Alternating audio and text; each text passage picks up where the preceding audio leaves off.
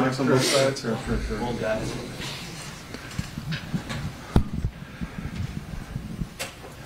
All right, guys. Just thoughts on your draw, where you're going, who you're playing, just Well, I think it's a hard, you know, everybody's going to say they have a hard draw. I think we got a hard draw, you know, when, when you think of, of uh, uh, Samford, you know, what have we labored with the most this year? It's teams that shoot a ton of threes, and then we have a hard time making up the difference. And they shoot 39% as a group. They've scored, they've hung over 100 one, two, three, four, five times this year. You know, I don't know if we've scored 95 times this year. Of course, I know the competition in some of those games is different, but but uh, they can score. They shoot a ton of threes. Their five man obviously makes 45 percent of his threes, and and so uh, it, it you know on paper looking at it. And, and not knowing all their personnel the way that we will here shortly, I'd say it's an extremely uh, uh, difficult matchup. Uh, so, so, uh, and then if you're fortunate enough to win the first one, then you, you know, uh, who is it in the second game? Gonzaga. Yeah, and McNeese State's, you know, won 31 games, and Gonzaga's Gonzaga. So, so yeah, it's it, there, there, there's nothing easy about they what they what the the bracket that we're in, but I'm sure other four seeds probably feel the same thing in their respective brackets too. and do you have a health update on, on Kevin and Hunter? Yeah, Hunt's doing great. Uh, uh, he's actually practiced the last two days non-contact, so we've done a lot of dry stuff so that way he could be out there, and then he'll go contact tomorrow.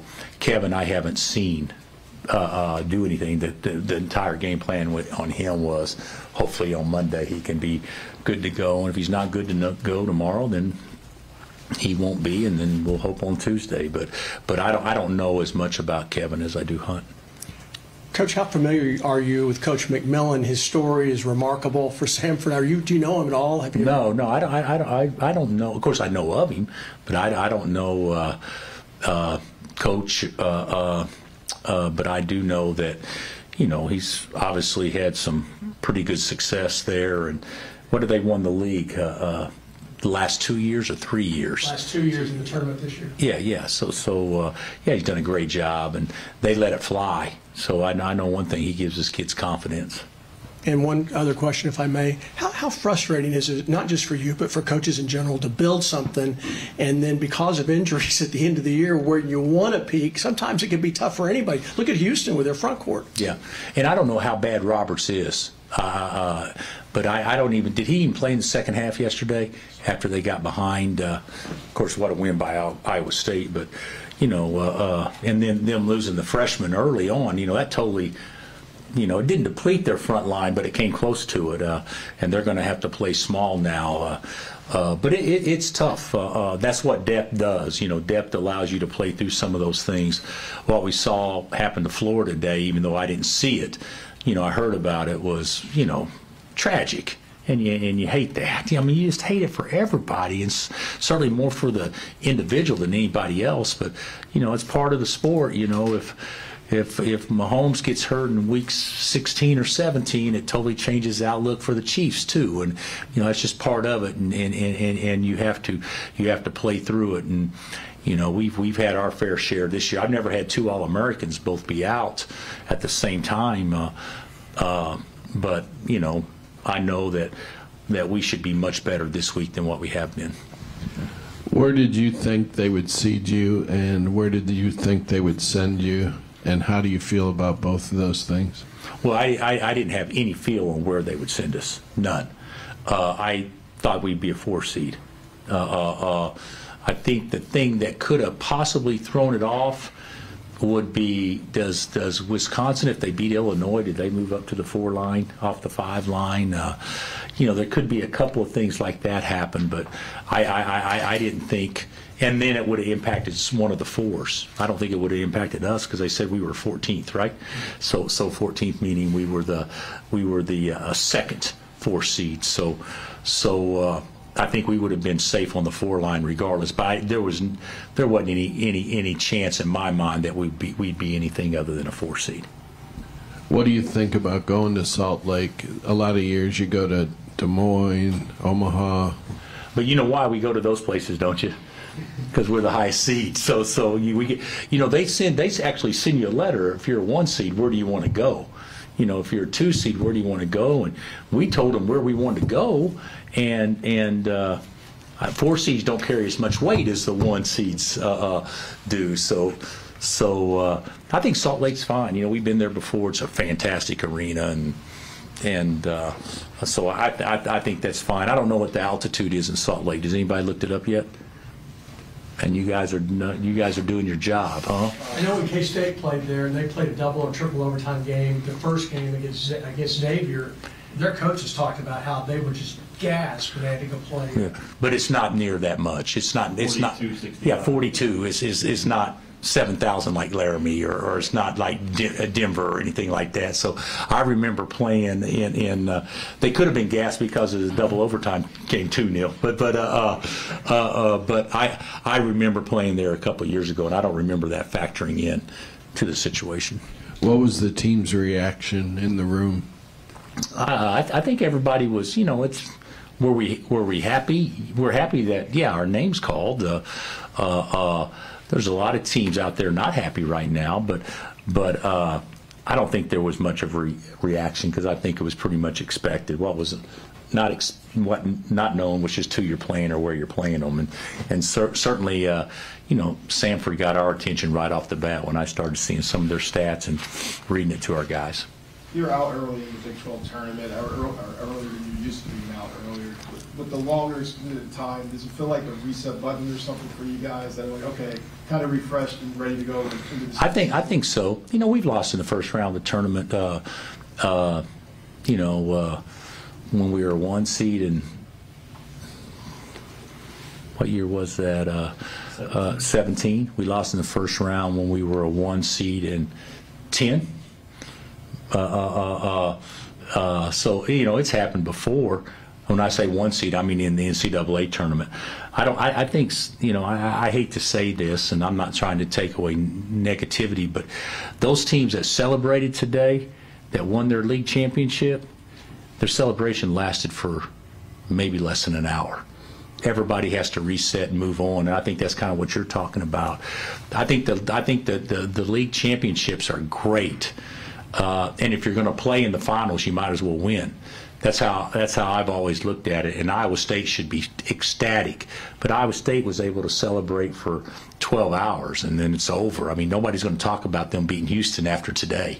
Uh, uh, so, uh, whereas the NCAA tournament, obviously, from past experience, I know people talk about it longer than a day or two. So, we need to be our best now, and I, I think the time off was good for us. Coach, you played in a, a, a triple, wasn't it triple overtime game in the championship of the Big Eight, and then you had to play. Double overtime. Double overtime. How were you 92, I think 92 to 90. Yeah. How, how, how'd that affect you guys? Uh, uh, Going into the tournament. I don't, Neil, God, I was 22 years old back then. I drank a lot of beer between, since between then and now. Uh, uh, I can't remember how it affected us. I know that we lost in the, in the first round in the next game in Corvallis, but I'm not sure it had anything to do with, with, uh, uh, uh, winning that tournament. I think it had more to do with, we probably celebrated longer than the 12 hours that was prescribed as the proper amount of time to celebrate. Coach, a couple of teams from the league did not make it that were on the bubble. Obviously, Oklahoma, we saw, I guess, was the first team out, but then also Kansas State. What's your reaction to that? Uh, I, I, uh, you know, I, I, I, I'm not in on the no, but you know, obviously Oklahoma would have been in if there hadn't been so many upsets to yesterday and today. I mean, they they they were talking, and I, you guys heard the same thing I did. That five teams made the tournament that would not have made it that played in their championship game.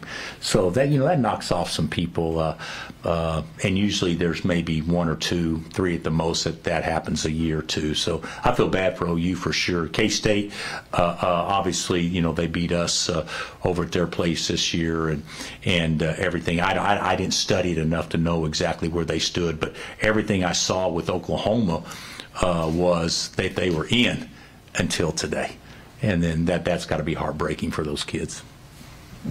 As you enter the postseason, you guys have been ranked in the top 10, 12 almost all year. A little bit, you've had a, lost four out of five. Where do you stand on this team? How confident are you they can make a run? Oh, I think I think we can make a run. I think we can still play great basketball. I, I think we will. Uh, uh, I think there there's been you know you- teams deal with different things that uh, the public will never know the things that you're dealing with because they're all in house. And so I think uh, with our depth situation, I think some things in house, some things that have occurred have been magnified to make them maybe a bigger deal uh, uh, than what it actually is. And so I think a, a chance to reset and, and, and, and get focused and, and a chance to get more healthy, I think will, will go a long ways with how, go, go, go a long ways uh, uh, for how we play moving forward. And certainly, we, you know, we, we put ourselves in a, you know, we didn't put ourselves in the best position, but there's a lot of teams out there that would love to be in the position that we're in. Who do you like as a possible national champion? Any obvious favorites?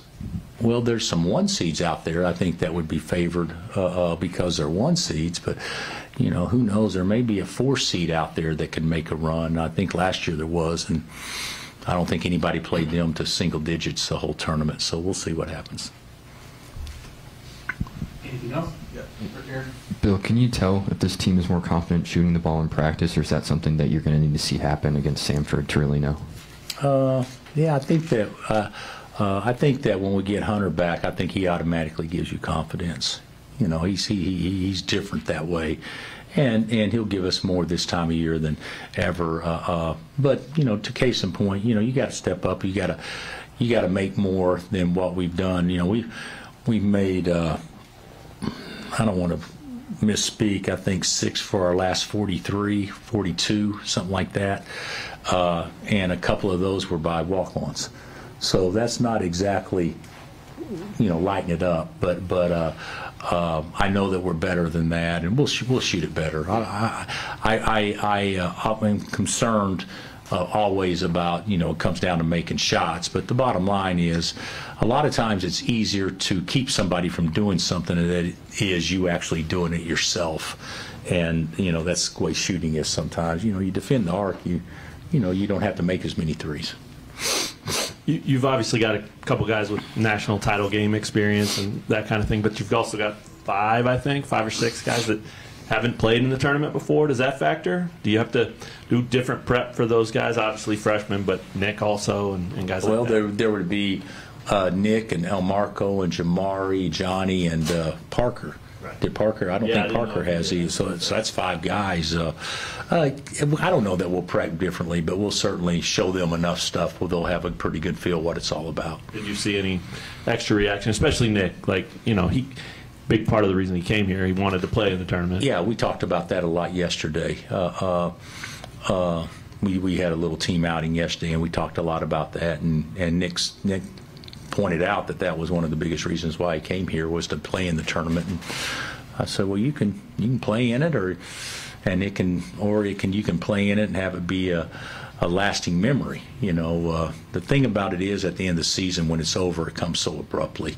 for everybody. And and uh, you know what you want to do, you just want to delay that as long as you possibly can. Anything else? Thanks, coach. All right, guys.